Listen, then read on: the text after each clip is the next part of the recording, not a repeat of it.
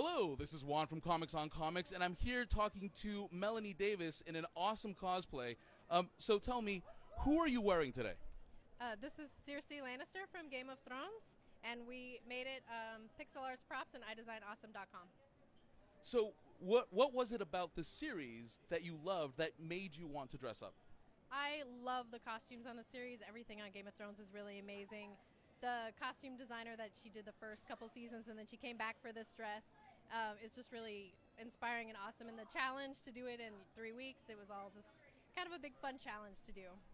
So, like, w- w- what went into this? I see multiple layers of, of fabrics, and you know, you've got you, you've got the chair on you. So, how did you decide what you were going to wear?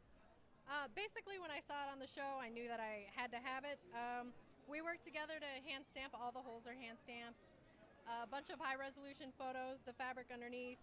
Um, I had printed to match every basically all the accessories we did, and he specializes in making the prop wings for different places like Victoria's Secret. So I kind of had an in to make something really quick, and yeah, just the challenge of doing it so fast.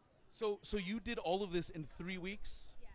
and and you did it because you you love the series, right? Like, I mean, so how, how did you read the books?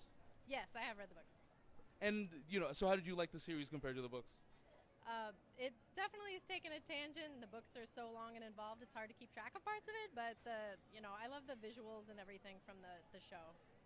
Sweet. Well, again, thank you very much. Um, you look awesome, and uh, I'll let you uh, go on your way. All right, thank you so much.